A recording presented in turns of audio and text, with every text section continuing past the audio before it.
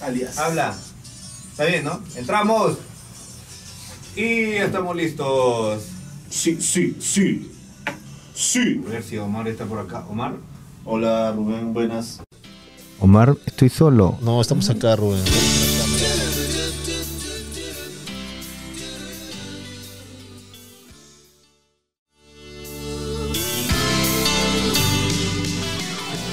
Ahora sí, ahora sí estamos aquí. Fríamente calculado, Rubén. Ya está todo. ya. Ya estamos todos acá. Semana a semana venimos de cartón. en Oye, ¿Qué esta, pasó? ¿Qué pasó?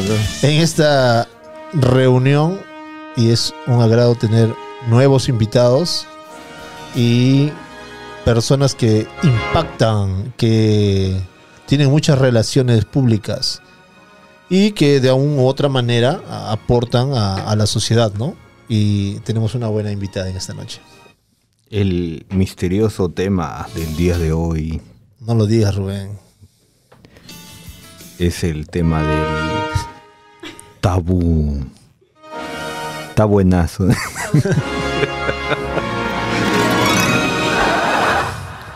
Listo, Omar, empezamos Ya, Rubén, te doy el, el honor. el honor, Sí, por favor, de presentar sí. a nuestra invitada en esta noche. Yo sé que hoy día no se va a reír fuerte. Yo sé que hoy día viene concentrada. Sí, tienes que- así tiene que reírse. así. Yo sé que hoy día viene en Así no. término profesional. Hoy día es magíster, hoy día es doctora, hoy día es obstetra. Suena lindo. ¿Cómo estás? Preséntala, Rubén, por ¿Cómo favor. ustedes? espera, espera, el nombre. espera. Ahora, pues ahí estará complicado. Japush. Ja- Japush. Push. Push. Ah, ya, ahora sí. Japush. Seguimos. Con ustedes, Japush, en este papel que lo invitamos especialmente que nos pueda ayudar con este tema. Te van a ayudar, Rubén. ¿Por no qué? te preocupes. Mucho, mucho seguro. ¿Por qué es tabú? Porque no se menciona, porque no se toca, porque evitan, porque te preguntan, ¿y tú cómo sabes? Ah, Claro. imagínate, ¿no? No, sí, sí. Es sí, el sí. tema tabú. ¿Qué tal? ¿Cómo estás? Japush. China, China. Mejor, para hacerles la vida más fácil. Bien, muchas gracias. Muy nerviosa. Ustedes saben que yo tenía un poco de miedo del venir. No por el, el hecho de estar aquí, porque me gustan las cámaras, los micros y La todo lo que silla, sea. la silla, el- ustedes. La silla, el tecito, no todo. ¿Y qué pasó en el otro lado? Amigo, no me haces cizaña. Ay, ay, ay. Entonces sí, me, me gusta todo este tema y hablar de mi carrera sí, ¿no? Me gusta bastante, pero él tenía un poquito, un poquito de miedo, no voy a mentir. Sí, pero yo cuando entro al Instagram está saturado de gente que quiere conocer esos temas. Me asombró. Tú- Me tú supongo, me mencionas- No, supongo que lo has, incluso- lo has publicitado por tu Instagram. Lo voy a publicitar el video cuando sale. Es que estaba muy ocupada esta semana, tenía capacitaciones en el colegio de Nos estamos obstetras. perdiendo miles de vis- Sí, incluso en mi página de Instagram donde hablo acerca de educación sexual, en mis publicaciones y en mis reels hablo de educación sexual. Y en mis historias cuento mi vida como obstetra porque me siguen dos tipos de público. El público que le interesa salud sexual, educación sexual y un público que le interesa mi vida como obstetra. Mi vida personal raras veces lo cuento por ahí. Mayormente siempre es mi vida como obstetra para inspirar a otros estudiantes de O obstetricia. sea, no vamos a ver en el video eh, que te- a qué horas te levantas de la cama, cómo te No, haces. esta así vida de influencer no. Ah, Todavía no me siento lista. Tal vez más adelante. Mi casa no está lista para eso. Mi casa, mi techo de ternil todavía no se presta. ¿Cómo encontraste ese nicho para hablar de acerca de estos temas y que yo no lo digo, yo no lo voy a decir hoy. Esos temas.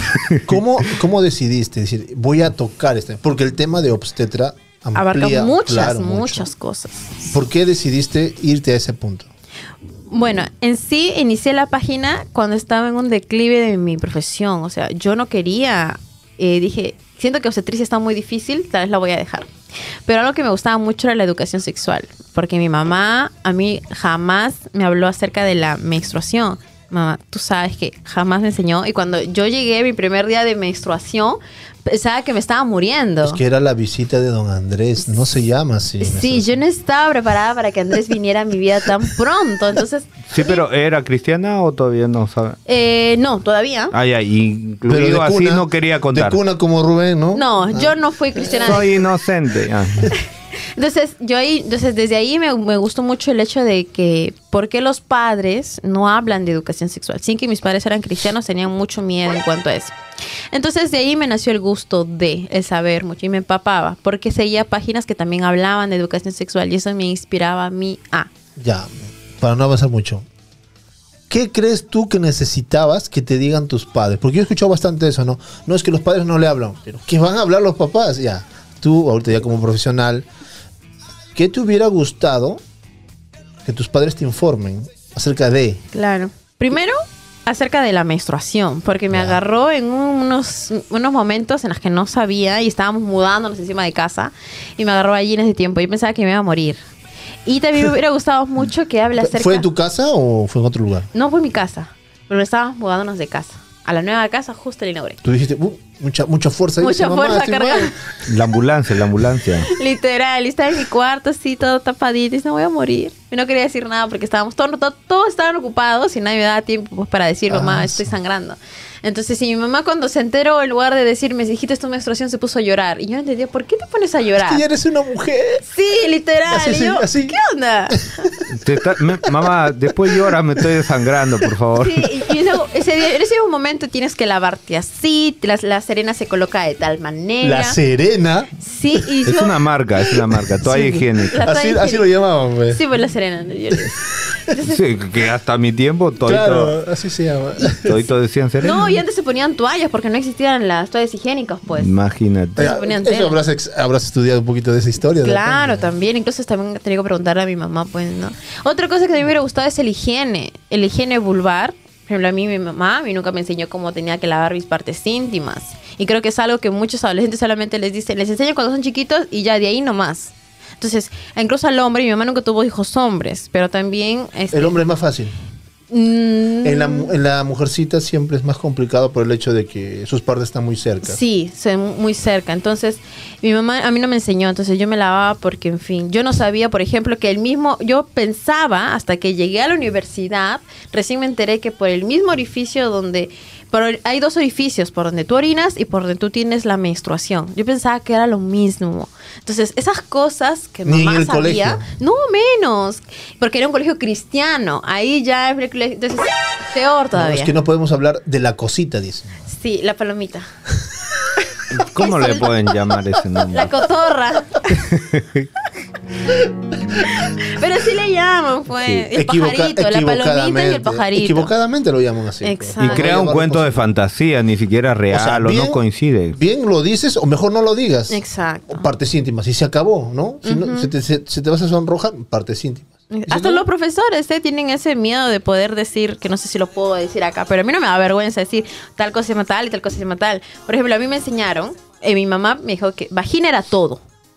Y yo, y cuando llegué a la universidad, recién me enteré Partes, partes. que era vulva, afuera es vulva y dentro es vagina. Y yo, oh my God. Entonces me quedé así choqueada porque eran cosas que mamá no me había enseñado. Y creo que son cosas demasiado Y básicas de para que repente ya no, sab- no sabía, de repente no sabe tampoco. También, No siempre. supo en su tiempo, de repente. Sí, es cierto. Es que también eso influye bastante en la educación que recibieron los padres, Exacto. creo yo. Sí, yo creo que sí, no lo podemos culpar, ¿no? Porque ellos también vienen de una educación así súper básica. ahora, en la actualidad, un clic, ya te sabes todas las partes del cuerpo humano, qué debe de hacer, qué no debe de hacer, reels que te dicen así sí, así no, y Y tantas eso es lamentable, ¿eh? porque por un clic puedes saber mucho, pero también te malinformas. Muchas cosas. A menos el TikTok hay tanta información tan errada. Como lo que siempre me preguntan mis chicas cuando me escriben por sus dudas es, ¿embarazada puedo seguir menstruando? Porque en el TikTok las chicas que ni en- solamente por vistas mienten de esa manera. Entonces hay mucha desinformación lamentablemente. Y esa entonces- pregunta es básica y uno ya, bueno, la información es básica que uno debe saber que ya no puede menstruar porque no puede ovul- ovular. Claro. Y que te diga eso es una ignorancia tremenda. Exacto. Pero eso no lo entiende. Dice, no, mi mamá, incluso, yo tengo un video que se hizo viral. Incluso este, en TikTok tiene como casi un millón de vistas. Y la chica, la chica me contestaba y decía, no, pero mi mamá menstrua hasta los nueve meses. Sí, pero es que conforme cada trimestre de gestación hay diferentes causas de sangrados. Entonces, si no todos los sangrados son menstruación, hay sangrados que puede ser por una amenaza de aborto, por una ruptura prematura de membranas, por una placenta previa, por, por tantas cosas, ¿no? Entonces, pero todo se confunde a menstruación. Ter- esos términos que tú has dicho, eso lo, lo conocemos recién los padres cuando están, están- Deciden estamos ser embarazados, papás. ¿no? Exacto. O sea, porque antes el padre no se informa, oye, es, es algo ilógico que no se da. En el camino nos vamos informando. Sí. Creciendo y descubriendo, ¿no? ¿Puede ser así o no? ¿Cómo así? Vas creciendo y vas descubriendo. ¿Está mal eso? Tienen que informarte antes. Yo creo que ¿Cómo lo crecer y aprender tienen que ir de la mano, porque todo tiene sus etapas. A un niño no le vas a hablar, a un niño de 5 años no le vas a hablar qué es menstruación porque no te va a entender, pero tal vez a partir de los 8 o 9 años ya le puedes explicar, ¿no? Es decir, ir creciendo y aprendiendo junto, porque el higiene cuando uno es niño a cuando uno es adolescente y ya crece el vello púbico es diferente. Cuando eres niño no tenías vello púbico, es diferente. Y las consecuencias que hay de, de la falta de aseo femenino. Uy, un todo. montón. De lo que contabas, ¿no? Que ya estabas en tu casa y, y pasó todo eso. Claro. Eh, ¿Qué vino después? Después tuve que aprender a hacer el higiene. Ahí recién mi mamá, mi mamá ni siquiera estaba enterada, porque ese es el error de muchos padres. Yo, mamá, te amo, pero te amo, mamá, pero te algo bien, bien claro es que, por ejemplo, ahí recién me enseñó cómo se cortaba un vello púbico. En ese momento recién. Nadie se enseña eso. No, y, y encima este, con cualquier tijera. Eso no hagan, padres, por favor. O sea, hay una tijera especial. A mí me enseñó eh, cuando me iban a operar de una hernia. Ya, ahí recién. ¿A qué edad? No me enseñaron. Venga, señor, a ver, eso. Ya está. Sí, así te agarra como si tú fueras un pato que vas a desplumar.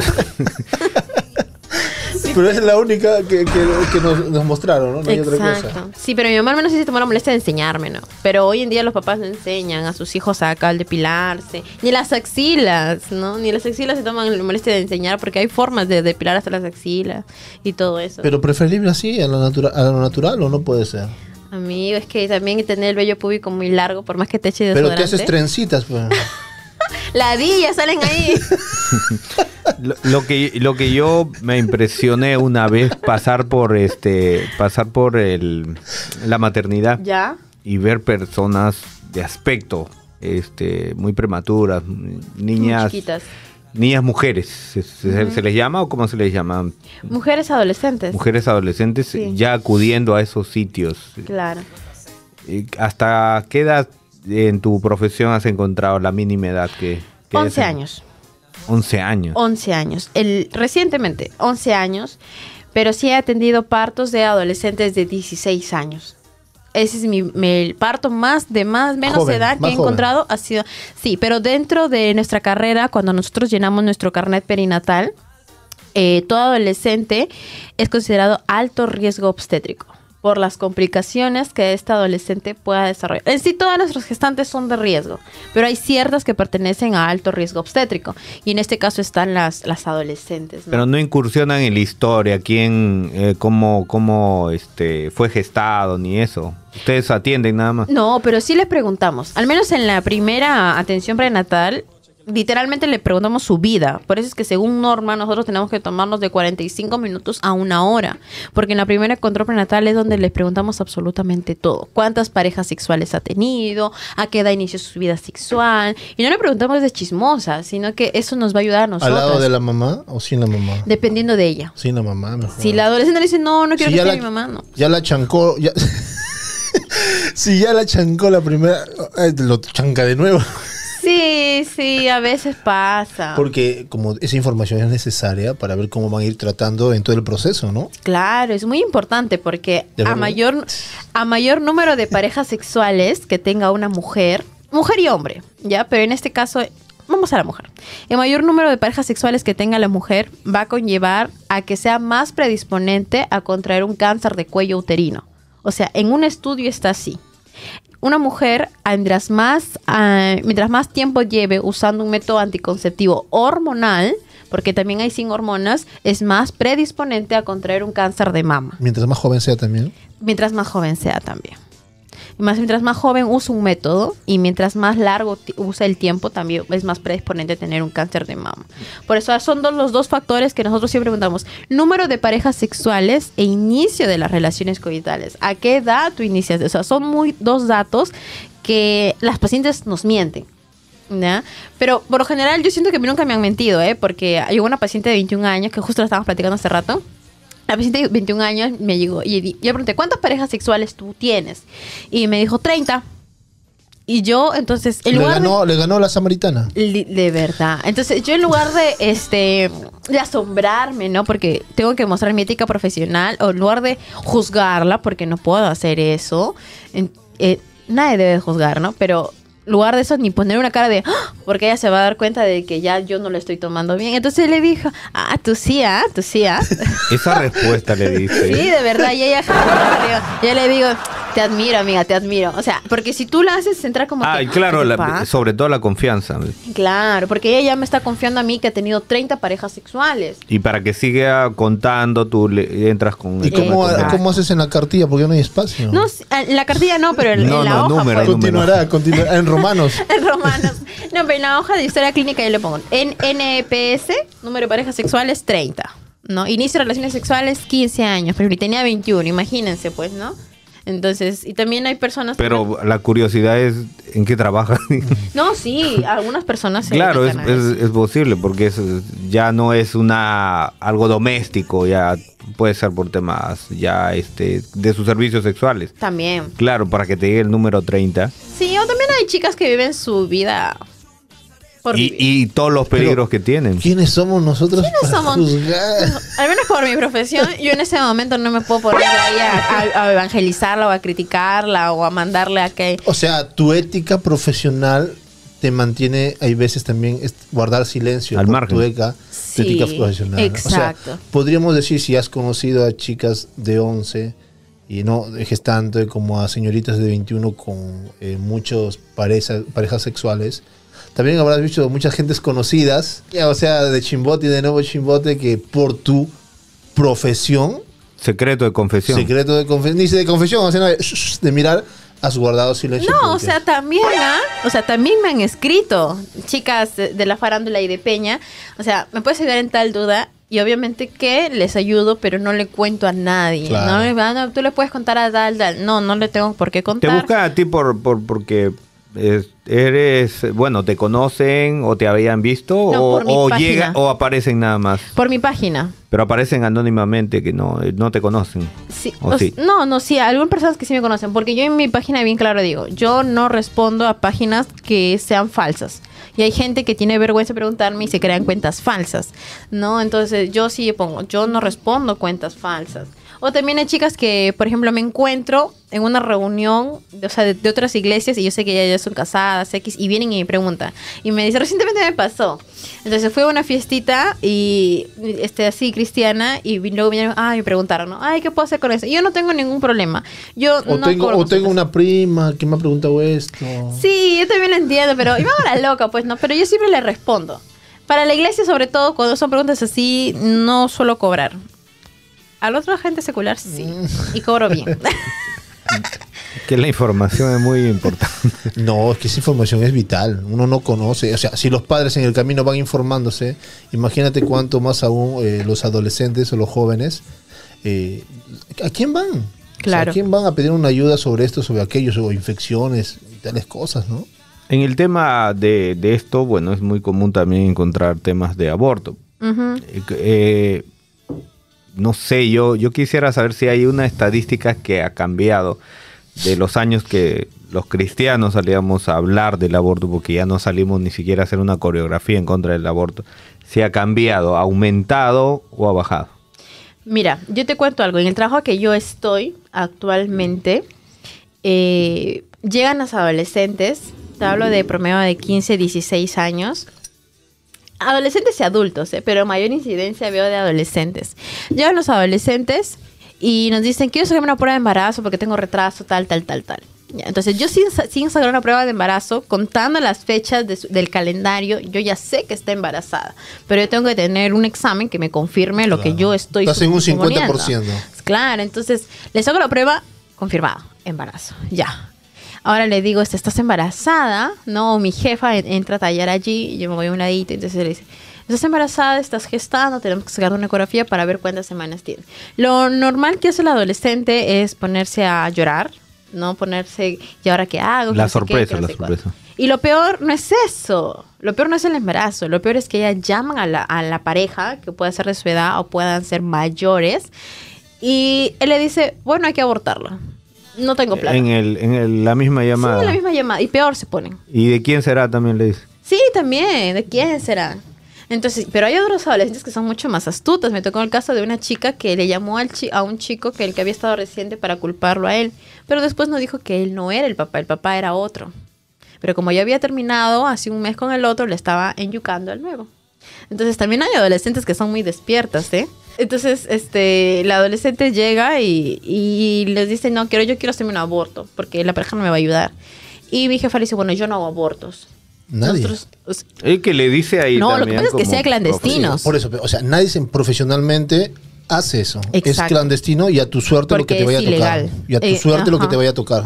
Exacto, entonces mi jefa no hace porque mucha gente en su mente está obstetra es sinónimo de, de aborto, ¿no? Pero nosotros no hacemos abortos y porque no está eh, no, es- no está en la legalizado, pero sí hay, hay profesionales que sí lo realizan clandestinamente, en clínicas que no voy a mencionar. Porque tienen todo el conocimiento. ah, Porque se capacitan fuera. O sea, para hacer un aborto, tú, o sea, tienes que capacitarte. Eh, por ejemplo, en Colombia, que creo que es legal, allá se van a capacitarse mucho acerca de, de cómo hacer un aborto. Y la cuestión es que el adolescente se fue, se desapareció, no, volvió como a las dos semanas. Llegó a las dos semanas y me dijo, estaba yo y me dijo, este, quiero cuidarme. Yo le dije, pero ¿no estás embarazada? No, ya me lo bajé. Y yo me quedé, ah, sí. Y, o sea, yo por dentro como que, "Ah, esta chiquita, ¿cómo? ¿De dónde La manera sacó?". fría de decir, ya me lo bajé nada más. Sí, así, súper fresh, ¿ah? Súper, súper fresh. O sea, yo me lo bajé. Y yo, ah, sí, le digo, ¿y qué cuánto te ha costado? Ah, me costó 600 soles. Yo, entonces, de- yo de chismosa, ¿no? Y por no, no, no de juzgona, sino, ¿y, qué, ¿y dónde has ido? Le digo, para, este... para saber, por para si saber sí, como dónde... con confianza, sí. Cl- Claro, porque, o sea, hay personas, chicas, que por más barato también se van a lugares tan clandestinos que puede estar corriendo en riesgo su salud. Pero ella me dijo, no, en la clínica tal. Entonces yo sé que ya en esta clínica. Una clínica tienen- certificada. Claro, tiene, no es certificada, o sea, para atender a la gente normal sí, para, para abortos no. Pero ya O es. sea, ella entró por un dolor de muela, simplemente así, en su historia. Exacto. Entonces, eh, 600 soles en la clínica tal. Ah, ya, le dije, ¿y todo bien? ¿Te han hecho una ecografía? Porque yo tengo que preguntarle antes de ponerme a, hacerle sentido de conciencia. Le, te- le pregunto, pues, ¿no? ¿Y te han hecho una ecografía después de para ver si hay restos, si está todo bien? Preocupándome por su salud. Y, y ah, sí, me- me- dijiste la edad de la que estamos 16. comentando. 16 años. Y me dice, sí, sí, todo bien, que no sé qué. no sé qué. ¿Y sigues con el chico? No, ya no. Me dejó y se metió con mi mejor amiga. Ah. Así, o sea, o sea, vive su vida tan desenfrenada. Ni la Rosa de Guadalupe tiene estas historias. La verdad. O sea, si yo me pusiera a contar tantas historias. y después le puse su método y, y, y ya después ya dejó de venir. Ya no sé qué será de su vida, pero un mes le puse su ampollito. Y tenía 16 años y obviamente su derecho de ella venir a pedirme un, Un método tabú. anticonceptivo. Un tabú. Engorda los métodos anticonceptivos por inyección. Mira, Es lo que dicen todos. Men- Porque menos Rubén mal- y yo nos estamos poniendo la ampolla. Sí, creo, usted- ustedes se cuidan con la ampolla trimestral. gordos. Gordos, gordos. Pero a Omar le ponen en la barriga, creo. Ahí le inyectan. A ver, ¿cuál es la respuesta? ya, voy a mirar para allá, ¿no? Sí. Los métodos anticonceptivos no engordan. Ese es un mito muy, muy común y que me llena de mucha frustración porque hay, es tan generalizado que la gente dice, no, me causa, este, eh, me engorda, por eso es que no me quiero cuidar y prefiero este, tener 5, 6, 7, 10 hijos con tal de no engordar. Igual terminas engordando por los hijos. Entonces, el método anticonceptivo hormonal lo que te produce es ansiedad. Ansiedad para comer. Y esa ansiedad que te da es lo que te llama comer, a comer, a comer, a comer. Y tanto es que no lo controlas que lo que haces es tener que eh, ensanchar, comprar tu ropa si eras 28, 32, 34 y así. Ahora, ¿y cuál es la solución para eso? O sea, tratar de llevarlo con un profesional que nos ayude Frutas, a controlar frutas. la ansiedad. No, ni tanto, ¿eh? Porque la fruta engorda también. O sea, frutas que contienen harta cantidad de glucosa, de azúcar. No comer fruta en la noche. No, durante el día, digo. Pues. Ah, claro, sí. Tomar agua. Toma agua. o ¿Tienes sea, hambre? Toma chaufa no, chaufa no. No. Chaufa no, Rubén. Entonces. No, pero después sí, por favor. Yo estoy live. Hasta que llegue ese día. Yo no uso Graba, esto va a quedar grabado, ¿no, Rubén? Vamos a ver, ese día va a llegar. Es- Esos, esos, esos temas me, me, pusieron a temblar cuando hablaste del aborto y la facilidad con que lo, lo mencionan como si fuera algo. ¿Qué tan frío la sociedad que te pueda decir así, no? Acerca de un aborto. Yo también me quedé así como tú, de verdad. Y es muy normal que esas cosas pasen en nuestra profesión. O sea, atender pacientes que vengan y te digan, yo no quiero estar embarazada, y se van. Y, o mujeres, como también me tocó el último caso de una chica que ella tenía ya 26 años, o sea, ella podía hacerse cargo del bebé, pero estaba con un hombre que el hombre este, tenía familia. Entonces ella no sé si era la otra o no sé qué era en sí su vida del señor. Ella era feliz hasta que apareció la esposa. Sí, era feliz hasta que salió eh, por embarazo positivo. Entonces, salió positivo el, la- la- la- al embarazo y ella quería tener al bebé, pero, Pero- él no quería. ¿Y por qué él no quería? ¿Por qué será? No sé. No, porque raro. él no quería, ella quería. O sea, ella sí quería tenerlo al bebé, pero él no quería. Entonces, él ya tiene un hijo. Claro, tiene una Y familia. él tiene una familia. Entonces, no sabemos si es que ella era la amante o si es que La Amix. o la, o la chica que recién estaba conociendo, ¿no? o y era, separado, como dicen los hombres. Yo soy separado, duermo No, de repente él diferente. era casado y ella era su enamorada. Sí, también. Entonces, como que, bueno, por ahí, eh, la cuestión es que vinieron al día siguiente que queremos hacernos un aborto. Con él ya. Sí, con él. Pero ella estaba triste porque ella, que ya a 26 años, tú tienes el sentido de ser mamá, ¿no? Si tú me preguntas a los 22, yo todavía no quiero. Pero ya a 26 años, yo siento que ya. Las chicas ya nacen ese individuo de ser mamá. Pero el chico no quería y él estaba en desacuerdo. Y al final, imagino que él la, indus la indució a un aborto, pues, ¿no? Ya no vino ya. No, ya no volvió. O sea, ya no volvió ni para nada. Entonces, esta semana yo estoy con licencia de faltar porque estoy en capacitaciones. Pero este, ya hasta donde yo he estado, que ya pasó casi un mes, ella ya no ha vuelto a venir. Entonces, imaginamos que se ha ido a hacer un aborto, pues, ¿no? Pero porque la pareja no estuvo de acuerdo. Y ahora si vemos el otro lado, ahora del lado bueno, del lado que continúa con, con esa bonita etapa de ser padres. Eh, o sea, como tú contabas, es un proceso, ¿no? De aprendizaje de los padres, de los cuidados que deben tener. Claro. Y, y- y ha habido momentos de repente en que se, se olvidaban de algo y tenías que llamar la atención, mira, no has hecho esto, o estás, muy, estás subida de peso.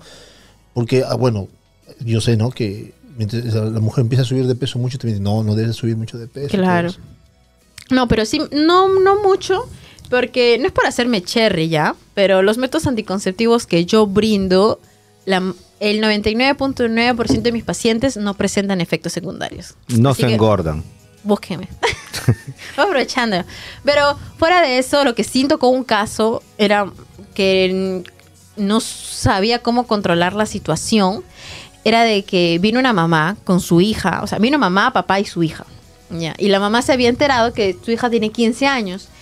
El consultorio van muchos adolescentes. Entonces, viene la, la mamá con la su mamá, el papá de la niña, molestos. Ya un poco más le empujan a la niña para que pase al consultorio. Entonces, ¿qué, qué, qué ha pasado, no? Entonces, este, y, y pasa, pasa que la chiquita había tenido relaciones sexuales, coitales. Relaciones sexuales es otra cosa. Tuvo relaciones coitales y la mamá se entera. Se entera y la mamá, uy, llegó al consultorio y en lugar de estar calmada, la mamá empezó como un animal salvaje, por así decirlo. Y empezó a decir, ¿cómo es posible que haya salido embarazada? Si yo te di la confianza. Eh, delante de la obstetra, o sea, delante de nosotros, digo, ¿qué necesidad de hacerle pasar vergüenza a su hija en la calle si ya la masacró a la niña en su casa? Porque se veía que a la niña la habían pegado, obviamente. Entonces, eh, ¿por qué? Si mira que mi hija es una tal por cual, que cómo es posible, nosotros todavía no vamos a trabajar, los papás, no sé qué carrera era, pero te- todo el día trabajaban fuera y la niña vivía cómodamente, tiene celular, tienes internet, ropa de marca, ¿Qué no te falta falta? nada. Exacto. ¿Qué te- es la típica. Yo siento que algún día también lo voy a decir con su mamá. ¿Qué te falta? ¿Qué, qué es lo que te Pero falta? después de, ¿qué te falta? Sí, es que. ¿Qué te falta? Por cada letra, por cada letra. Sí. Y, y entonces, este, y empezó a decir, entonces la obstetra le em- encalmó el momento, yo estaba la obstetra calmó el momento y le dijo que, que, que queremos escuchar a la niña.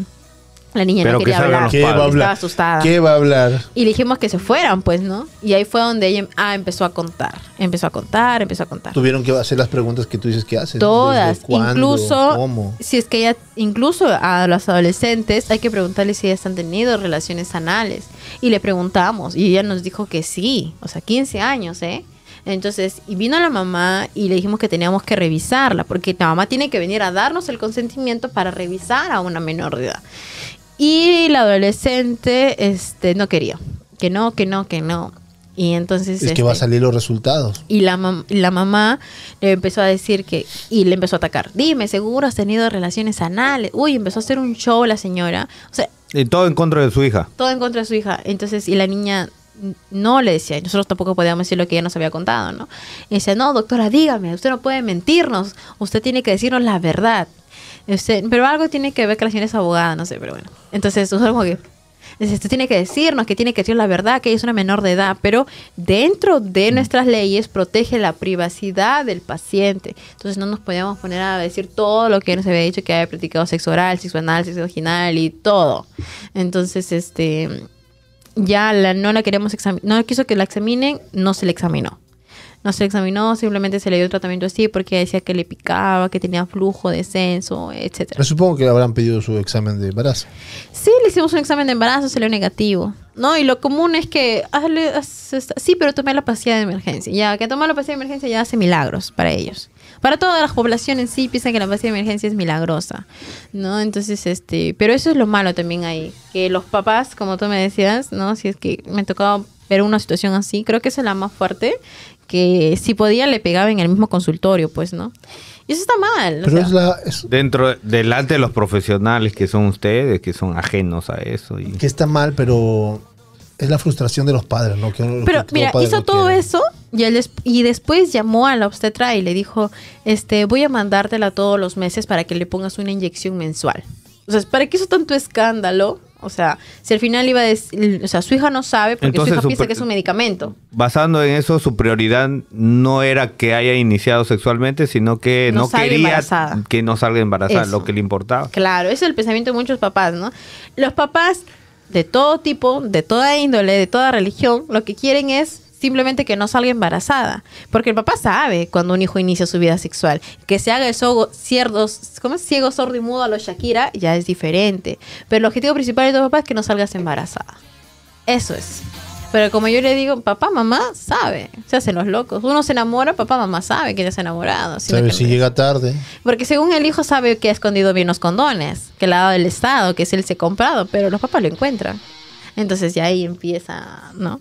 Una hija cuando ya empieza a comprarse hilo- hilos dentales, no mentira, y los calzones hilos o los encajes y es por algo. No es porque, ay, no quiero que me vean el pantalón de física, sino ya son señales que te alarman. No, no es que yo quiero ya andar bien depilada. ¿Por qué quieres andar bien depilada?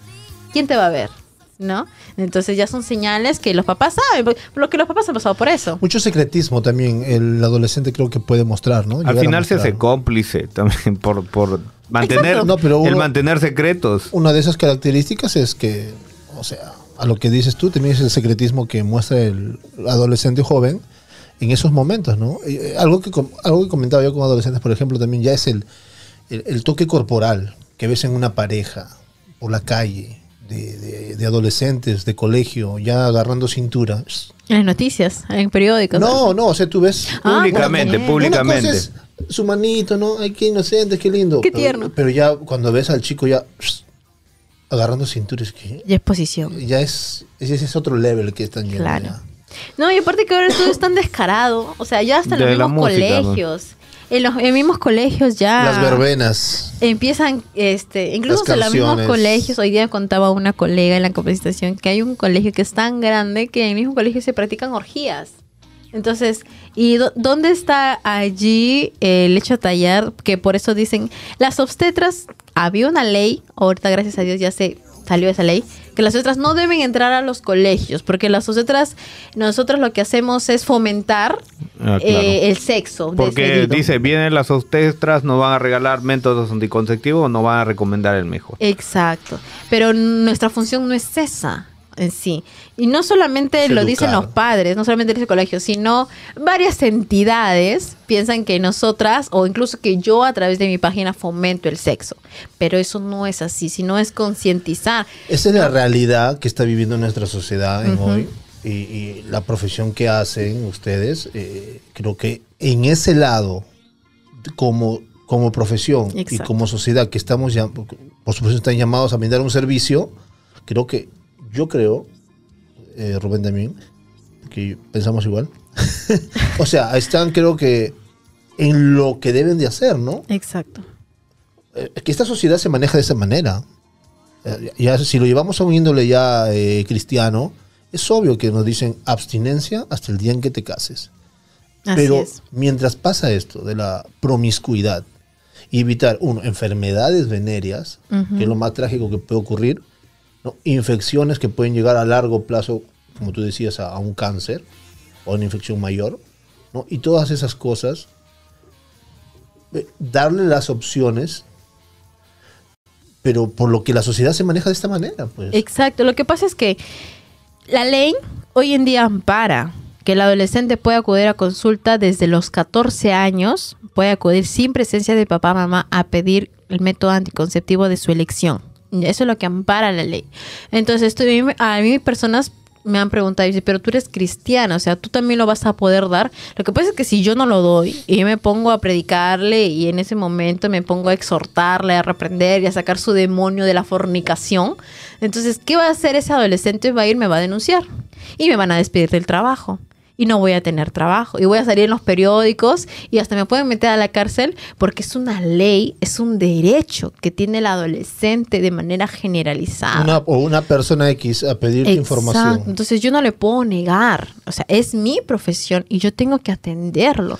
Es ¿no? que- es como que los médicos no tienen solamente Es que es cristianos. como lo que decía Rubén Alén, este es, como dice el nombre del programa, es algo tabú. ¿Por qué? Porque cuando uno es abogado, Tienes que defender a... o defiendes a puros cristianos. No. Y cuando, por ejemplo, así vamos, cuando eres, eh, tienes tu empresa que grabas y todo eso para eventos, ¿no? De eventos infantiles o Matrix y todo eso, la música donde estás rodeado no es cristiana. Claro.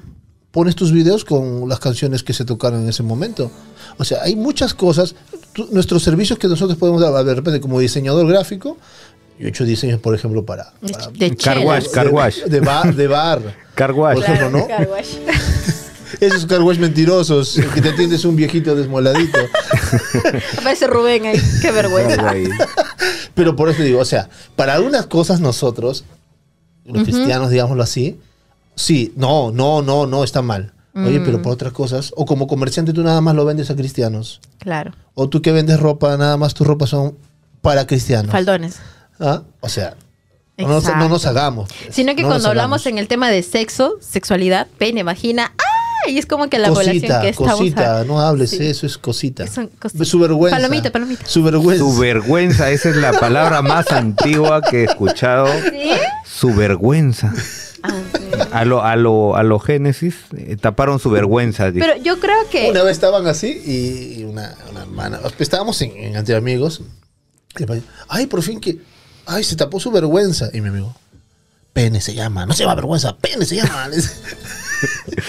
Es que sí, les parece tan alarmante, ¿no? Y pero al menos yo creo que hemos avanzado un poquito en la sociedad, porque antes las mujeres que menstruaban eran consideradas como mujeres que estaban enfermas, o Impuras, sucias, impuras. impuras. Claro. Pero hoy en día ya no, ya se conoce como una menstruación. Incluso en otros países como en Chile, ahí está la ley de que la mujer cuando tiene problemas de la menstruación muy fuerte, que se llaman como dismenorrea, esa es una enfermedad. Entonces, tienen licencia a faltar al trabajo y que ese día les paguen el trabajo. Entonces, por ejemplo, hoy en día que en el Perú tú faltas por una menstruación te descuentan. Ni te perdonan, ¿no? por más que te duela mucho. Entonces, hay que esos casos, lamentablemente, que aquí en nuestro país no se, no se el día que sea congresista lo voy a probar. ¿Tienes datos de, De, Marque la gota. en- de en qué, en qué año, este, bueno, a qué edad se, se inician sexualmente la mayoría? Claro, la mayoría, el índice, justo hoy día está en esa conversación, eh, empiezan a partir de los 14 años a los 16 años. Es el límite promedio que hoy en día, según la última actualización, Perú, Perú. en Perú, sé que te hablo de Perú, es este de 14 a 16 años. Estamos hablando es de iniciación sexual. Exacto. Pero masiva, Den- masiva, porque den- si damos un dato... es Dentro que- de eso, dentro de eso está en los casos de abuso o está todavía fuera de ese porcentaje. No, está dentro de. Porque y tú, in- tú inicias tu vida sexual, haya sido consentida o no haya sido Ya. consentida. ¿Y lo tienen por separado ese porcentaje? Claro, también. ¿Y, en, y en qué porcentaje está O sea, eso? se de- dice que cada, cada 100 mujeres, 5 han sido abusadas en el país. Así. Va esa cifra. O sea, no es eh, que, que sepamos. Porque recuerda que los adolescentes no denuncian o callan. Y te enteras cuando ya después tienen tantos años. Por eso está la... O también muchas eh, culturas o muchas tradiciones, en, ¿no? En la parte, en la parte más alejada, digamos, de las ciudades, ¿no? También ocurren esos que se, ca- se comprometen a menor edad. Sí, no, lo peor es que he visto que me indignó mucho fue que en la selva estos congresistas ha dicho que las prácticas de la selva que son violaciones son prácticas culturales. No, no, no. ¿Cómo no, tú no. vas a llamar a la violación una práctica cultural? O sea, eso no puede existir. Eso es violación O sea, aquí en la China y en la sabemos que se, se hace comúnmente, pero no es que parte de la cultura y que está bien, pero la cultura es buena. La Eh, cultura es La buena, cultura es exacto. buena, eso es malo, es lo Que tam- negativo. claro, o sea, que, que familias permiten que sus hijas se comprometan a menor edad, también no podemos decir que es mentira. A lo menos de esos lugares donde son a veces como se- muy separadas, que viven como si Por las tierras, o por por, la familia. selva, que parecen jungla, ¿no? Todos bien separados, bien lejanos. Eh, se dan ese tipo de prácticas. En la parte Sí. sierra también se dan. Sí se da. Pero eso no quita lo que tú dices, ¿no? Que En la sierra se maneja por temas de. Yo preguntaba siempre cuando, cuando viajaba. Aguaras, ¿Por qué? aguaras. Porque. No, otro lado. a la, gringa, a la gringa de los chochos. Cuando viajaba a Payasca, cuando estaba en Payasca, sobre todo en esa localidad que hay caseríos, Ya. y yo pregunté la tasa de, de- de natalidad porque veía pequeñas cargando a, a bebitos y dicen, no, ellas solamente están con sus animalitos por ahí, por, por la chacra, y viene uno, los viola y no pasó nada. Y se fueron nada más.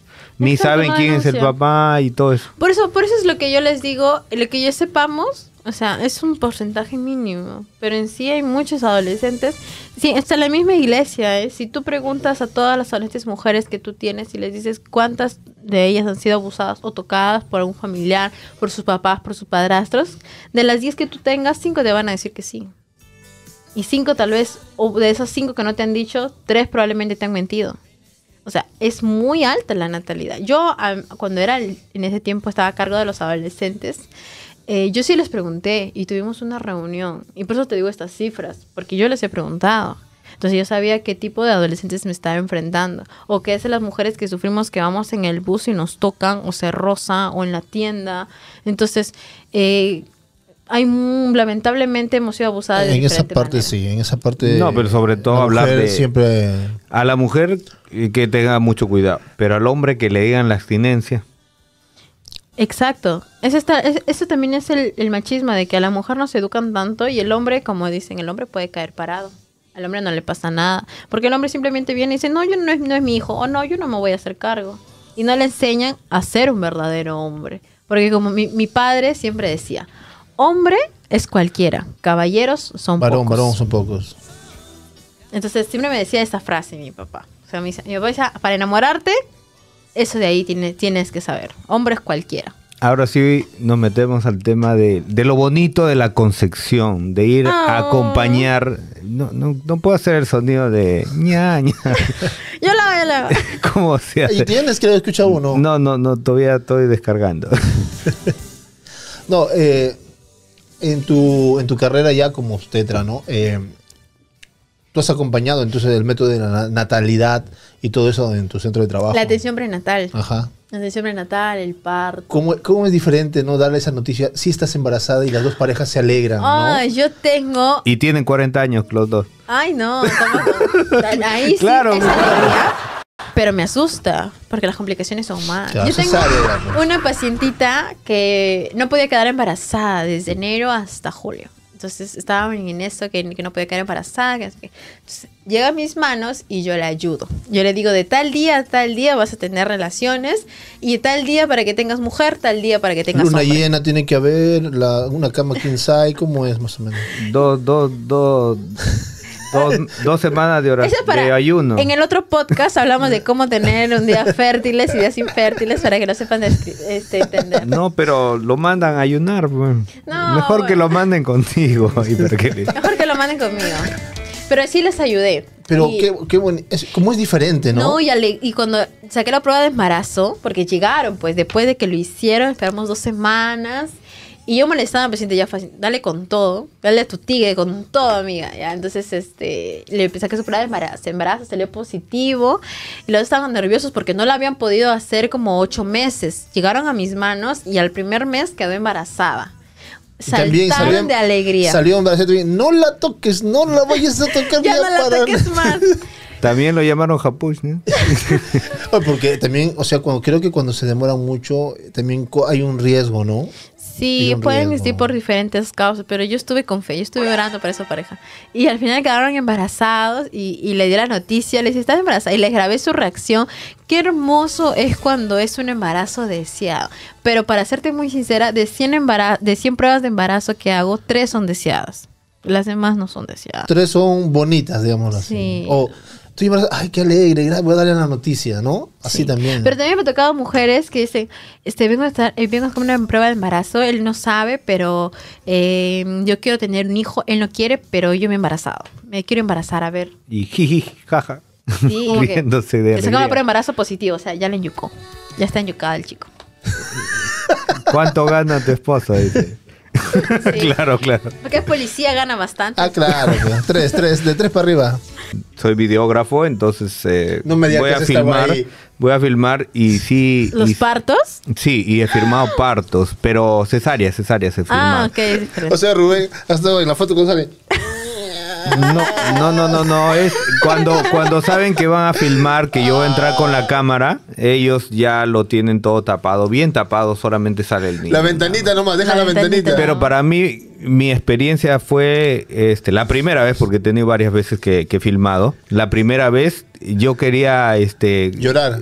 sal- no, salió, salió este, la pequeña, rosadita y todo eso.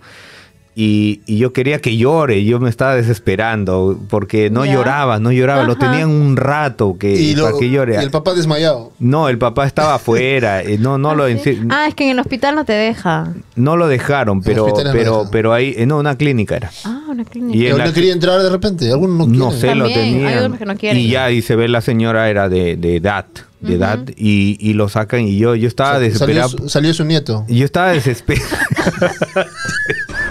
ya pues. Roberta que lo cuenta con tanta emoción. Es que estaba, es que estaba, es- se veía que la señora era, Eso, eso, él era como llegar. su último, era como- A eso él quiere Su llegar. suspiro. Entonces, lo que yo quiero decir es que me desesperé porque no lloraba el, La niña, la, la niña, niña. no Y saca- lloraba. y saca, y saca. y lo comenzaron a molestar así, moviendo. La espalda. Ah, no, no, lo, lo movían, lo movían.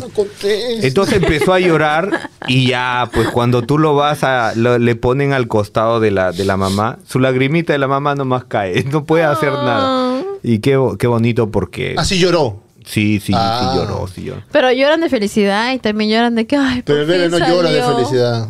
No, pues, ¿Por qué? no sabe todo lo que le viene. ¿Por qué el doctor lo tiene que pegar al bebé? No, ya no les pega. No, ya no, amigo, ya no hacen eso. ¿Ya no les pega? ¡Pah! No, no, yo lo vi que lo movió, lo movió. No, ahora así. lo masajeamos la espaldita. Ah, sí, es así. es. ¿Y si no? No, pues es que tenemos que ver lo que volvamos cuando nace un bebé, su Apgar. Pero antes era.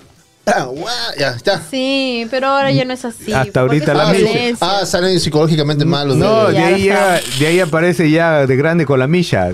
No, es el me golpeó el doctor.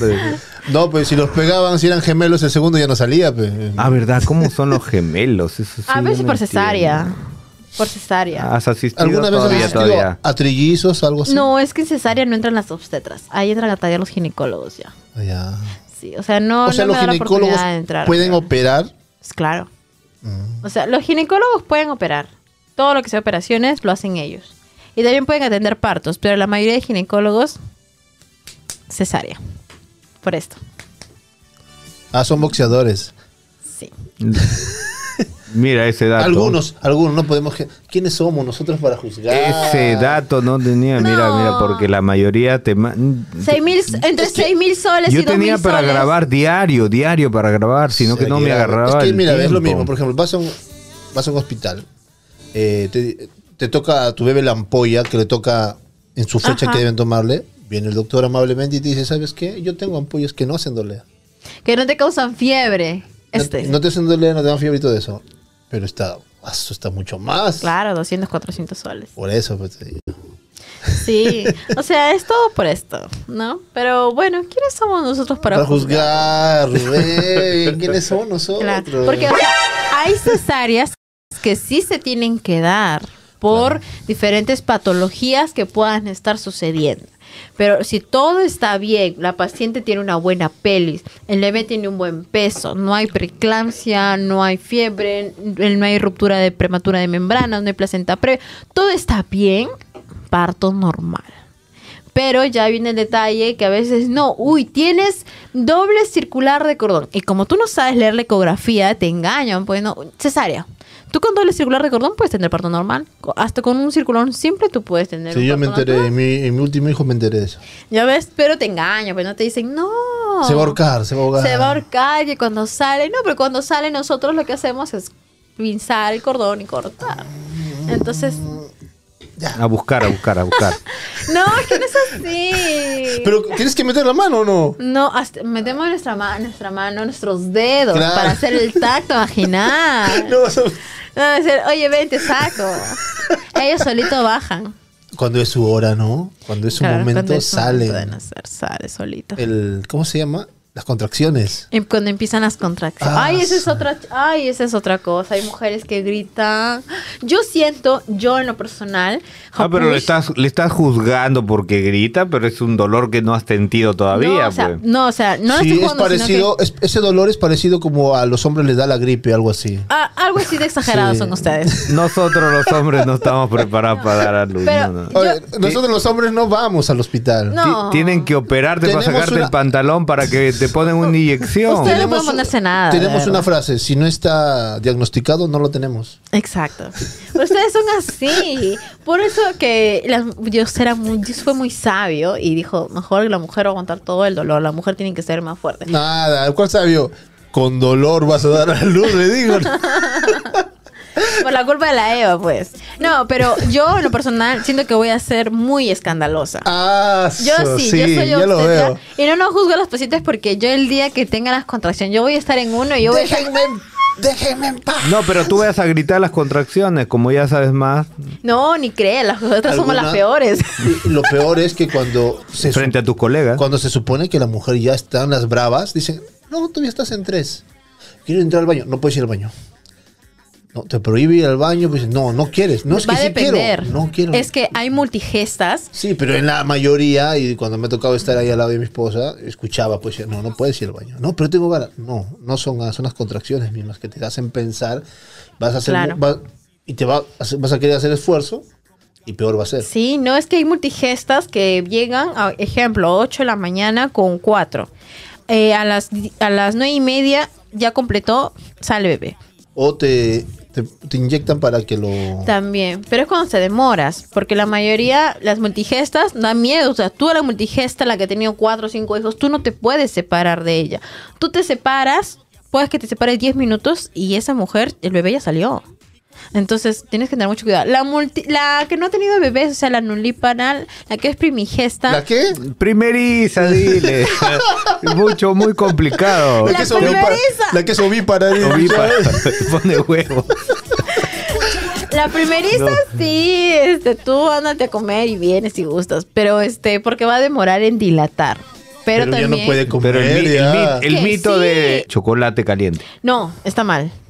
Eso sí. Oye, lo dan escondidas. Sí. No, o también El eh, chocolate caliente, tomar li- para eh, que- emoliente linaza la porque linaza para que resbale. Ya.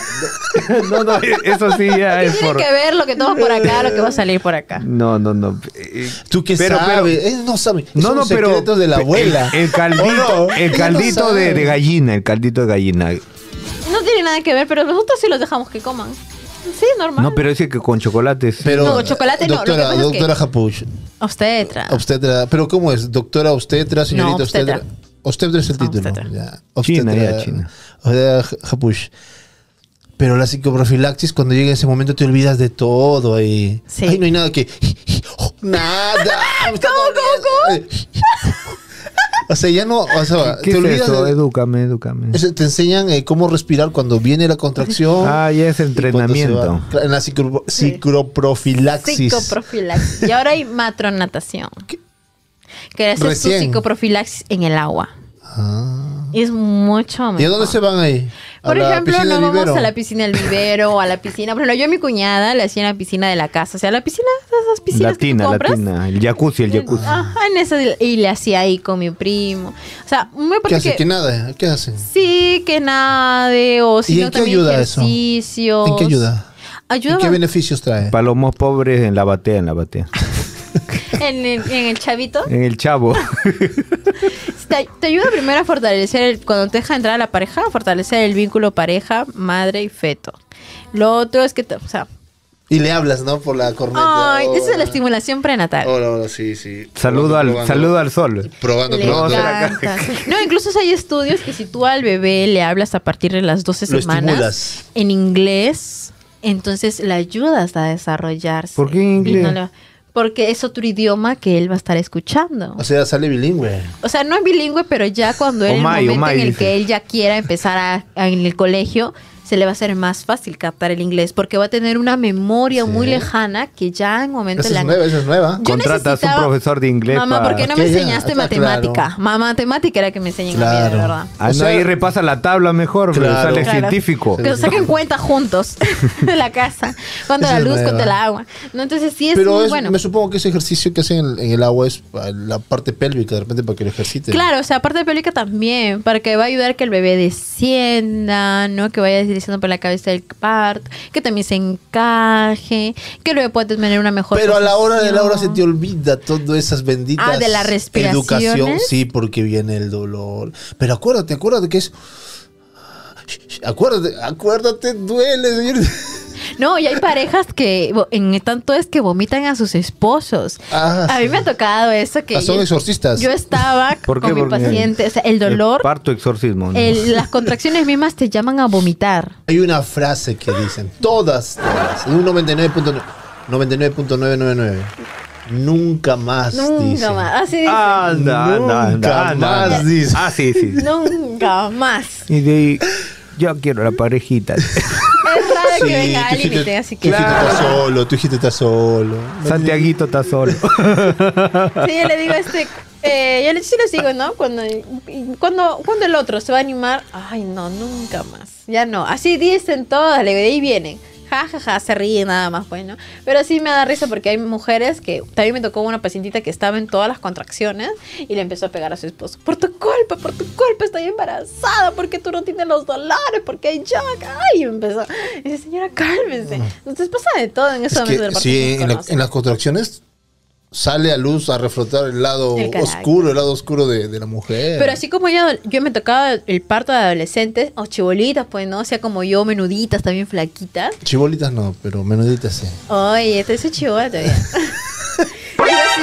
Súper, flaquitas, pero que tienen una fuerza y que soportaban el dolor. O sea, la paciente estaba en 8, es una, una adolescente, y ella soportaba el dolor bien machita, así como...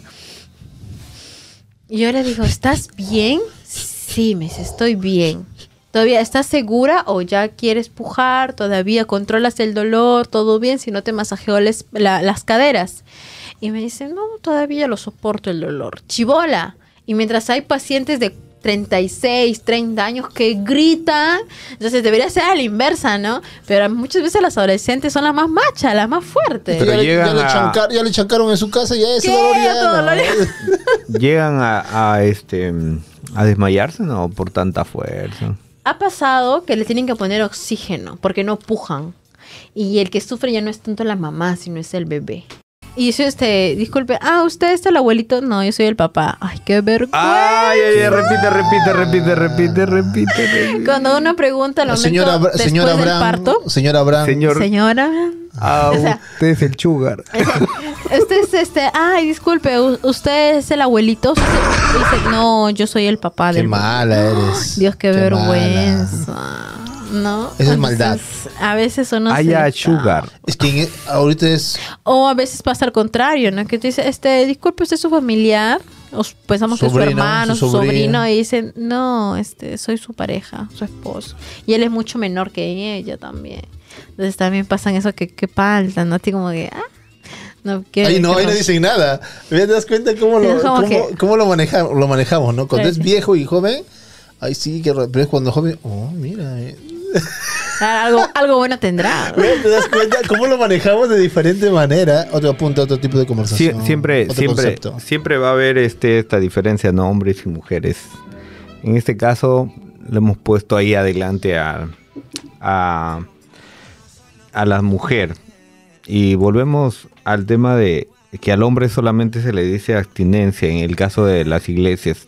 ¿Qué recomendación le das tú, Omar, a, a los adolescentes cuando has trabajado con ellos en cuanto a la abstinencia? Eh, es algo que, que- que la Biblia no, la Biblia es nuestra, nuestro dogma de fe, eh, que debemos guiarnos, entonces la Biblia habla de eso, Porque dice hasta el Unir- matrimonio. de unirse, ser una sola carne, ¿no? Y, y hablan siempre del hecho nupcial, no hablan de otras cosas más. Claro. Y hay varios ejemplos de ha habido violaciones, ¿no? Hablan, Sí. hablan del deseo sexual como es más que un sentimiento y abusan de esa persona y terminan su deseo sexual, plum, es botada. Como En- cualquier cosa. Claro, entonces, mira, ¿desde cuándo se está dando? Eso se da, se da, por ejemplo, en Tamar y está en la historia de Tamar. Cuando, como que si la mujer fuera un objeto sexual. O sea, en los, los, dos, los dos hijos del rey David, entonces él se siente atraído por su hermana, está su parte sexual, ¿no? Y lo satisface y la bota. Entonces vemos cómo eso ahora es, es repetitivo. Es repetitivo. Tal vez no tanto de votar, sino de terminar una relación. Y él, pero, pero él sentía que estaba enamorado, hasta se dice que se bajó de peso. Sí, o sea, pe- pero es la atracción sexual, no creo que era... Es la amor. carne. Claro, a full. Entonces, lo vemos ahora. Y lo disfrazan de amor, pues. Te amo. Es como ahora, o sea, esta- o sea la Biblia es tan explícita en eso, que, que enseña eso. Y, y cómo, o, como te digo, cuenta eso, pero también cuenta el otro lado de esperarse, de, de- de ser una sola carne, de unirse. Y, y- y, o sea, al margen de, de esa unión física, la Biblia habla que eso es, también es unión espiritual. Claro. Entonces, cuando se da esa unión antes del matrimonio, es donde ocurren muchas cosas, pues. Lo que vemos ahora en la sociedad. Si la iglesia habla de tabú, se quiere decir que no ha leído Eclesiastés, que es un O concepto... cantar de los cantares. El cantar de los, de los cantares es muy, muy erótico. O explícito. claro. explícito, erótico y, y no, no, no quieren ah, no quieren pasar por esos pasajes o lo leen nada más textualmente lo, como va. Yo creo que todos los pastores, líderes, obispos, ministros y todos los que tengan los cargos, para estar dentro de uno de ellos, deben tener una enseñanza de sexualidad. Y no que lo enseñe un pastor que escuchó el tema, sino una persona experta en el Un profesional. O que se empape verdaderamente del tema. Que, exacto, que se empape tanto, pero por un profesional. Porque una cosa es que tú leas, pero otra cosa es que te enseñe alguien con una experiencia base, con casos que pasan en la sociedad. Mira, yo en esto, en estos dos meses estoy llevando, eh, estoy enseñando discipulado a adolescentes y en este discipulado, digamos, el libro, segundo libro, eh, los primeros capítulos es full, full, full, full sexualidad. Ya temas de sexualidad, de quién eres, de tu identidad, de, de la virginidad, está hablando del lecho sin mancilla. Imagínense, son, son temas bien El fuertes para adolescentes. No digo fuertes por, digamos, por lo, tal vez que se puede ser muy explícito, pero se necesita ser real, creo yo, en las enseñanzas, para- porque si tú lo preguntas, ellos saben. A mí me gustaría, por ejemplo, llevar un día una ponencia eh, donde ha sido mi sueño desde que me empapé del tema, de este, llevar a los adolescentes y jóvenes imágenes reales que yo tengo de mis consultas que hago de cómo es las infecciones de transmisión sexual. Sí. Yo tengo una vulva llena de verrugas. Yo tengo un pene lleno de verrugas en mi celular, imágenes reales de mis pacientes. Tengo eh, una, una joven de 21 años que inició recién su vida sexual con un chico que le dijo, le engañó, que era su primera vez también. Y ese mismo año ella se contagia de VIH. Con el primer hombre que inició su vida sexual. Creo que cuando muestras la realidad, Ahí es. ellos empiezan Es a creer, empiezan a creer que sí es verdad. O sea, si hago esto antes de, voy a tener consecuencias que me voy a fregar, Tengo. disculpando la palabra, me voy a fregar la, la- la vida. Es que simplemente le dicen abstinencia, eh, léete esto. Pero ellos te dicen por qué. Nada más. Claro. ¿Por qué? ¿Para qué? No, no, Entonces, no, no llegan a eso. No, entonces por, eso- entonces por digo, eh, cuando estamos enseñando lo hablamos. ¿Y, eh, tú qué opinas? Y ellos te sueltan. Sí. Mire, esto, esto, hermano, esto, y esto, hermano, esto. ¿Qué sucede en esta vez? ¿Cómo sucede por esto? Por ejemplo, hablamos de- de- del divorcio, que tal vez no es tema sexual, pero abarca también el hecho de cómo encuentras, cómo te encuentras una pareja y cómo puedes llevar a ese punto. Porque ellos también nacen en un hogar así muchas veces. Muchas veces. Una vez una hermana de la iglesia me, me dijo, este, que Eren, puedes por favor llevar una ponencia de higiene, eh, higiene íntimo a los adolescentes, ¿no? Y sus cambios físicos y sexuales. Ya le dije, me fue una edad de quinto primaria y sexto de primaria. Me dijo, no, porque ellos todavía, que ella es psicóloga, entonces me mandó allá y, y ella lleva el área de psicología. Y, y entonces fui a dar la ponencia y cuando yo di los papelitos para que dejaran sus preguntas, casi todas las preguntas eran acerca de masturbación y de pornografía. Entonces, y me- la, eh, la- la hermana me dijo, este, no, ellos no saben todavía de esos temas. Me dijo, párale de esos temas que son así livianitos. Y ellos ni le importó mi tema. Lo que más le importaba era saber acerca de la pornografía y de la masturbación y de que si ya pueden iniciar su vida. Hasta la pasilla siguiente, del día siguiente. Nuestra generación, Está nuestra, avanzada y no se enteran. nuestra generación ha sido enseñada vulgarmente. Nosotros Sí. hemos aprendido vulgarmente en la calle, por amigos que llevaban cosas al colegio, por cuestiones de que otra persona dice, yo sé, yo te digo cómo es. Noso- nuestra generación ha crecido con eso. Y los que deberían enseñar están metidos en una iglesia, los que nos deberían enseñar valores, no nos enseñan por el miedo, por el tabú. Yo creo que no nos inducen como... O porque somos dicen. rechazados, como en mi caso. Eh, eh, al enseñar esos temas, a mí me gustaría presentar a nivel distrital unas diapositivas de cuellos uterinos llenos de infecciones. Yo tengo imágenes reales de cuellos uterinos llenos de infección verde, amarillenta, cremosa, espumosa, de diferentes, de mis propios casos. Yo quisiera ponerlo, enseñarlo. Pero también muchas veces soy rechazada porque piensan que yo voy a incentivar, ajá, pero es así, lo, yo lo llevo a mi profesión al lado cristiano, es mostrar el por qué es importante, es importante guardarse para la persona Claro, indicada, pues para evitar todo esto, ¿no? Para, eh, porque yo ante lo secular, yo tengo que portarme como profesional que Claro. soy, pero ante la iglesia, mi posición siempre va a ser el abstenerse. Esto es lo real, esto es lo que la sociedad, esto. esto. es lo que la sociedad te ofrece Sí. y el guardarse, Sí. ¿qué te salva? ¿De qué te está, o sea, llegar virgen al matrimonio? No solamente ¿de qué te llegar con un buen testimonio, sino que salvarte de enfermedades venéreas. Exacto, o sea, porque al acostarse tú con una persona, terminas, luego esta persona, tú tienes otro, y la persona nueva con la que estás ya has tenido otra. Y, o sea, y te estás acostando con todas las parejas y con todas las infecciones que han tenido. O sea, no solamente es infecciones por transmisión sexual, sino también infecciones bacterianas, ¿no? A veces hay personas que dicen, no, pero es que si me contagio de, de un SIDA hoy en día, el, el- Que ha el aumentado, VIH que ha aumentado. ha aumentado un montón el VIH y el sífilis, un montón. Estoy teniendo muchos casos positivos en el consultorio que ya hasta me da miedo, hasta yo pienso y digo, tendré hasta, hasta yo que hago tantas pruebas, diré, pucha, ya me habré contagiado en algún momento. Entonces, eh, ve- veo bastante esas cosas que a mí sí me gustaría enseñarlo y poder mostrar a los adolescentes, a los jóvenes, a qué nos enfrentamos. A mayor número de parejas sexuales, más probabilidad de contraer un cáncer de cuello uterino. A, a menor, a menor edad de usar un método anticonceptivo hormonal, más probabilidad de contraer un cáncer de mama. A los hombres va igual. El hombre se contagia del virus del papiloma humano, que es, el segundo causante de muerte en nuestro país, el virus del cáncer de cuello uterino Este virus a los hombres si les da, les puede dar cáncer de pene, cáncer de ano, cáncer de testículo, hasta cáncer de lengua por practicar un sexo oral, por ejemplo. No, entonces, con este contagio de este virus. Y este virus es tan silencioso que no te enteras hasta que te haces un papa Nicolau. No te enteras hasta que te haces un IVA. Y ahí está el otro detalle, que dices, no, hacer un papa Nicolau es este de- del diablo. No, eso, eso no te puedes hacer porque eso está mal. Bueno, yo le digo, eh, a- yo digo, ¿por qué no hacemos una campaña? Hay, hay las campañas de salud que hacen, Sí. ¿no? ¿Y por qué no hay un obstetra en esta campaña de salud? Me pregunto yo. ¿Por qué no hay una campaña? Ah, está oftalmólogo, está médico, está Para la próxima, Japush.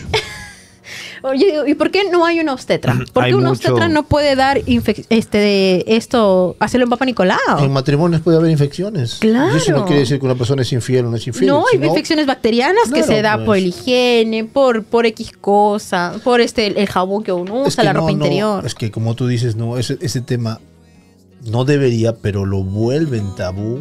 No sé para salvaguardar qué, cuando ahora, sea como sea, la sociedad, el mundo que nos rodea, se está empapado de todo y está a años luz de lo que nosotros conocemos y pensamos que con una oración o, hacer algo así nada más, ya, nos va a librar de eso, cuando no es así. No, ahora es hasta ah, hay hombres que actualmente les prohíben a sus mujeres hacerse un Papa Nicolau.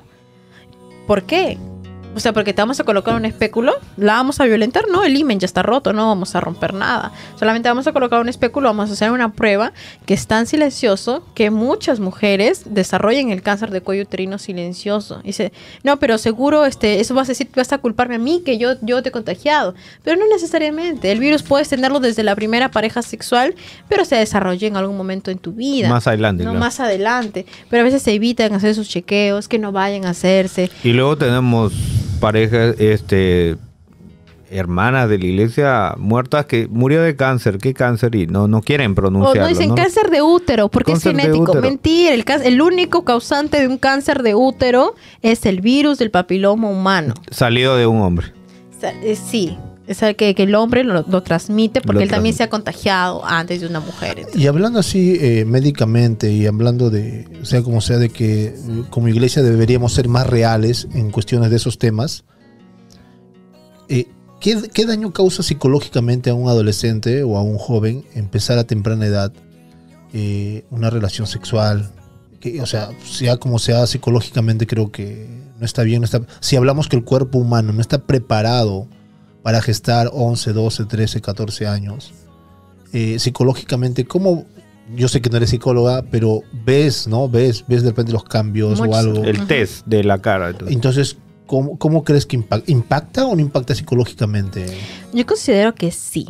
¿Por qué? Primero, en los, si nos vamos a los hombres, ya que muy poquito hablado de ellos, pero si vamos a los hombres, vienen con una idea de que el sexo en la adolescencia o en la juventud es como la pornografía. Vienen con ese ideal. Vienen con la idea de que la mujer tiene que sentir lo mismo que, siente una actriz. ¿No? Entonces, el hombre viene con esa idea y quiere que la mujer haga lo que hace la actriz. ¿No? Y la mujer también viene con esa misma idea errada y a sus 14, 15 años el pene es pues pequeño, no es un tamaño pequeño. Entonces viene y, y piensa, primero, que viene como que, ay no, va a ser la mejor experiencia de mi vida. Pero termina siendo la peor experiencia de tu vida muchas veces. Uno, porque te vas a sentir usada, dañada, te vas a sentir que algo ha pasado dentro de ti que no está permitido, que lo que tú tenías en mente pensado que iba a ser tan fabuloso no lo es, Y no esa- va a haber satisfacción para mayoría, nada. y la mayoría de esas relaciones va a terminar sí o sí. Se va a terminar, luego vas a terminar con otra, te va a volver a pedir y tener intimidad y vas a volver a acceder. Porque ya se te fue fácil para la primera, para la segunda también. Y luego vas a conceder a otra, vas a conceder a otro, vas a considerar, y así se va haciendo una cadena. Entonces, psicológicamente, te va- vas a ir pensando que lo que tú haces es normal. Que lo que tú estás haciendo te está conllevando a, a que mientras más parejas sexuales, mejor eres para los hombres, ¿no? Pero no es así. El que tener más parejas no te hace más hombre. Y, el te- y que la mujer tenga más parejas tampoco le hace una mala mujer. Porque a veces el hombre sí se le permite, Es ¿no? que esta sociedad es así. La mujer, mira esta cómo anda con ellos. El hombre, wow, campeón, ¿cómo lo haces? Sí. Ese en lo secular, a una mujer que tenga muchas parejas, pucha, condenada. Sí. condenada. Y eso lo vemos desde la farándula hasta, hasta dentro de nuestra familia también, ¿no? Porque el, hombre sí puede tener tus chicas. Puedes tener una y luego otra, una en la casa y otra en la calle. O esa, Pero la vieja, mujer- o esa vieja tradición, que de repente no, no lo hacían todos, que los padres llevaban a los hijos para su mayoría de edad y a un prostíbulo. A un prostíbulo. Sí, como si fuera algo normal. Y luego los hombres, yo considero los que más dañados son en ese aspecto eh, psicológicamente son los hombres, porque tienen una mente muy distorsionada del sexo. Y emocionalmente, porque son cosas muy diferentes, para mí, emocionalmente la que más se afecta es la mujer. Y más es que esa mujer nunca en su casa la valoraron. Va- Tú creció sin papá, sin afecto de papá, sin afecto de mamá, o papá la dañó, padrastro la dañó. O se padres viene- ausentes. se viene con una idea de que entregar tu cuerpo ya es lo máximo que te puede pasar en, en- ¿Quién en me va a amar o va a estar para- conmigo va, para va siempre? a estar siempre. Y ahí viene también el problema emocionalmente cuando hay chantaje. Pasaron tus fotos, tus packs, tus famosos packs. Entonces, y ahí los chantajes. No, si tú me terminas, yo voy a publicar tus fotos. Y ahí es un daño, prácticamente es un trauma, es una violación emocional que le hacen. Pues, ¿no? Muy bien. Estamos con la hora, porque si no, seguimos. Todavía falta, pero Rubén, ¿qué pasa? No, estamos con la hora. Lamentablemente, siempre estos Pero es que temas era que, son muy avises, amplios. era que avises con tiempo, pero Rubén. Tú estamos agarrando la salsa, estamos agarrando la salsa. Lo único que yo digo que Chao. hay, hay mucho, hay mucho escondido bajo la alfombra. Ay, hay muchas mucho. cosas Hay escondidas mucho pan con que rebanar. y hay muchos que son cómplices al esconder cosas debajo de la alfombra, que tarde o temprano cuando estalla, cuando le encuentran es, es Uy, muy sí, tarde. Algo que conversaba con Rubén eh, en los preparativos de- de- del programa de hoy era, ¿por qué no terminar, o sea, concientizando, concientizando en que si nos están escuchando, nos están viendo adolescentes, señoritas como hombres, o jóvenes, señoritas y hombres, comunicarse aquí con la obstetra Japush, está en sus, eh, sus redes sociales. Japush Obstetra, Instagram, TikTok. Eh, eh, contactarse con nosotros, Rubén, mi persona, eh, y nosotros podemos derivarle eh, a que no se sienten solos en, en esta etapa, ¿no? De que de repente cometieron algo y están muy arrepentidos, pero ahora no sé qué hacer. Y a veces cometemos esa locura de tal vez un aborto o el hecho de ir a cualquier mm, pseudo, pseudo lugar que te fa- facilita cualquier cosa para que digamos ya estés bien y no sé, tengo esta infección, no sé qué van a decir o me pasa esto o, o siento esto y no sé qué hacer. Yo les pido a adolescentes, jóvenes, que hay una profesional, se pueden comunicar con Tenemos ella. los contactos invitados Claro. también que hemos tenido profesionales para diferentes ámbitos. Sí, y yo creo que, como comentábamos contigo, Japuis, ¿te acuerdas que, o sea, que ya no se sientan solos y que cometan cosas que de repente se- más adelante se pueden arrepentir? Claro. No, sí, yo creo que entraste a eso. Eh, hay muchos adolescentes dentro de, que nosotros conocemos dentro de nuestra denominación, que por ahí cayeron en la gracia, como se les dice, ¿no? Entonces, tienes una infección, te aparecieron verrugas, te aparecieron granitos que no sabes qué es y no sabes a quién ir, porque mamá, papá te va a juzgar, tal vez dentro de tu denominación te van a juzgar, tal vez tus líderes no te van a entender, pero acá tienes una persona que te va a poder guiar que no tiene por qué vincular tus problemas, pero lo que sí es ayudarte. Si tienes un flujo anormal, que tú ves que te pica, te da comezón, verdoso, amarillento, cremoso, tienes molestias al orinar y no tienes a quién decirle, búscame a mí. Y lo que te voy a hacer es ayudarte, darte una mano. Por tanto, porque yo soy mujer, tú eres mujer, y si aún eres varón, también, porque voy a ser empático y no te voy a juzgar. Mi profesión es ayudarte, extenderte la mano y darle solución a tu problema. Y si está en mis facultades, aconsejarte, orar por ti y hacer que vuelvas tú a, a pisar firme de donde resbalaste, estaremos juntos y te voy a ayudar en este proceso que es difícil muchas veces que tus líderes y tus padres te entiendan, pero yo como profesional te voy a entender. Muy Claro. bien, Omar, tus palabras finales que estamos en rojo en el horario. no por los tetra. Eh, muchas gracias, Japush. Eh, gracias por, por tu presencia aquí y muy contento de que estos temas eh, sean explícitos y sean dados, no sean puestos en el centro de conversación. Y si por aquí algún pastor, alguna persona líder o algo, por favor, eh, estudiemos más, veamos más este tema y por favor hablemos la verdad a los chicos y que darles ver- verdades reales, ¿no? Soluciones Capacítense reales. conmigo, por favor. podemos aprender de todos. Entonces, eh, muchas gracias por este tiempo, Rubén, y creo que hemos aprendido todos en esta noche. Muy bien, gracias a todos. Nos Muchas vemos hasta el próximo episodio.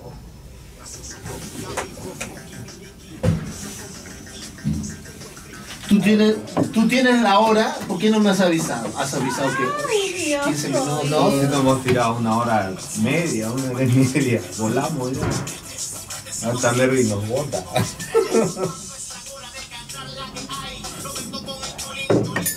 Vamos a ver. No me he equivocado y le publicaba en el, en el